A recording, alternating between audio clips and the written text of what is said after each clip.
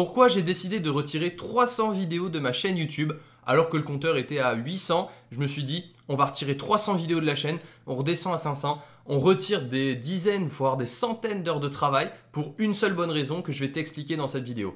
Salut à tous, je m'appelle Lucas Brasier et j'aide les étudiants à réussir sur YouTube sans sacrifier leurs études. Donc si tu veux rejoindre des milliers de youtubeurs étudiants, abonne-toi à la chaîne YouTube. En attendant, on rentre dans le vif du sujet. Pourquoi j'ai décidé de retirer 300 vidéos de ma chaîne YouTube?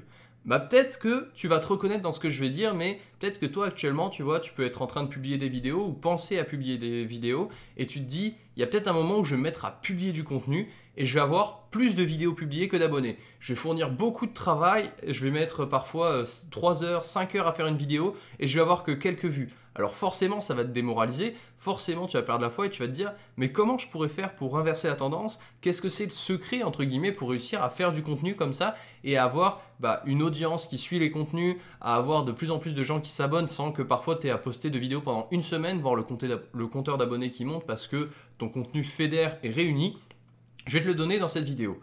Personnellement, j'ai fait pendant 3 ans à peu près 800 vidéos sur YouTube, ce qui est quand même assez énorme, ce qui fait euh, presque une vidéo euh, tous les, on va dire, euh, un jour et demi. Et je me suis arrivé à un moment où je me suis dit, bon, la thématique des études en 800 vidéos, j'en ai fait le tour. Enfin, la thématique des études, plus, on va dire, ce que j'avais publié autour, parce qu'il n'y avait pas que des études, justement. Et je me suis dit, j'ai fait le tour des études, j'ai publié quelques nouveaux formats. Maintenant, j'aimerais passer sur devenir youtubeur étudiant.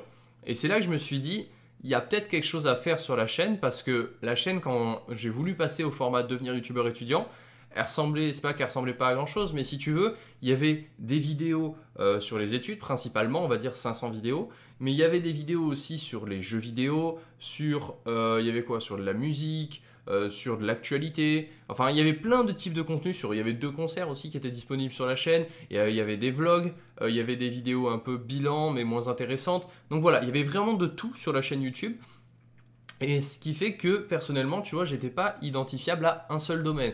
C'est ah oui, euh, Lucas Brasier, il fait un peu de tout, tu vois.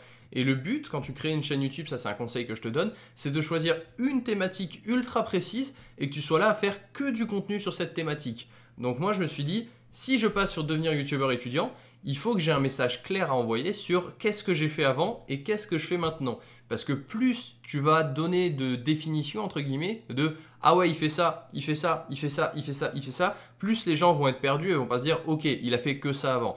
Donc c'est pour ça que j'ai décidé de retirer 300 vidéos de ma chaîne YouTube. Donc je t'avoue que ça m'a fait euh, un petit pincement à cœur, mais il faut le voir un petit peu euh, comme tu vois une montgolfière, c'est-à-dire que tu allèges la montgolfière pour qu'elle reparte de plus belle. Donc là, sur la chaîne YouTube, il reste 500 vidéos qui sont spécialement, on va dire, à 99,9% sur les études, où euh, c'est vraiment euh, bah, ma prépa scientifique, euh, généraliste, intégrée, parcours sup, enfin tu vois, c'est vraiment sur la thématique des études, tout ce qui était en rapport avec les jeux vidéo, comme je t'ai dit, les vlogs, la musique, enfin tout ça, ça a été retiré de la chaîne, comme ça, ça laisse pour les nouvelles personnes qui arrivent, peut-être toi qui es nouveau, d'ailleurs si tu es nouveau comme j'ai dit, abonne-toi à la chaîne YouTube, ça fera plaisir et rejoins-nous. Euh, voilà, comme ça les nouveaux qui arrivent vont voir que avant, j'ai fait, j'ai parlé beaucoup des études, j'ai fait beaucoup de vidéos sur les études, ce qui fait que j'ai pu sortir le petit guide du youtubeur étudiant pour aider les étudiants à se lancer sur YouTube tout en réussissant leurs études.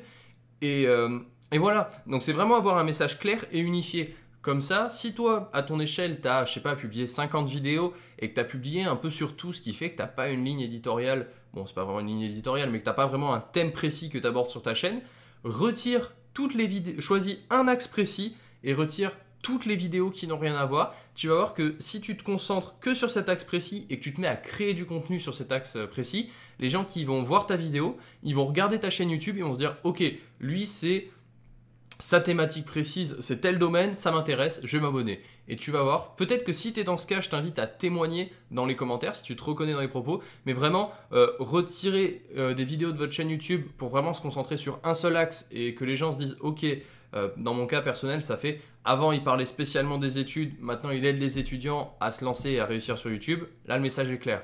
Quelqu'un qui va voir et qui va dire ok, il aide les étudiants sur YouTube, sur, il faisait des vlogs, euh, il parlait d'émissions télé, euh, de radio, de trucs, et les gens ils vont être perdus, ils vont dire bon, c'est le bordel, il n'est pas organisé. Donc voilà. Et un message clair, c'est vraiment le côté et une seule proposition de valeur. Euh, propose qu'un seul axe sur ton type de contenu, Quand tu auras des millions d'abonnés, tu feras un peu de tout si tu veux. Mais en attendant, au départ, il faut vraiment se concentrer sur un domaine de niche. J'espère que cette vidéo t'aura aidé. En tout cas, si c'est le cas, n'oublie pas de lâcher un like. Et si tu veux un peu plus de contenu comme ça, où je te donne des astuces qui vont te permettre de positionner vraiment ta chaîne et de peut-être la faire évoluer bah, vers, euh, on espère, une croissance à 3, puis 4, puis 5 chiffres, n'hésite pas à liker la vidéo et à me poser une question dans les commentaires. J'y répondrai dans une prochaine vidéo si vous êtes plusieurs à me la poser.